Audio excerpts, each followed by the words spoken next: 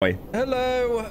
Hello. How are we doing? Let me get Scorn set up. I really want to play this. We do be scorning. We do be scorning. I, I, I, played this game for like five minutes and I just thought it's Cruelty Squad on high settings. The only thing I know about this, which everyone's already said, is HR Giger inspired, which is Alien. That's why everything kind of looks, looks like a xenomorph.